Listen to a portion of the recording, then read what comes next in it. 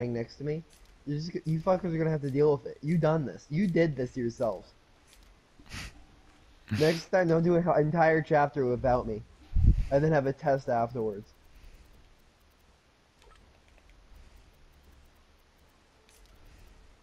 But now you must feel the, the power of my rectum for hours and 20 minutes.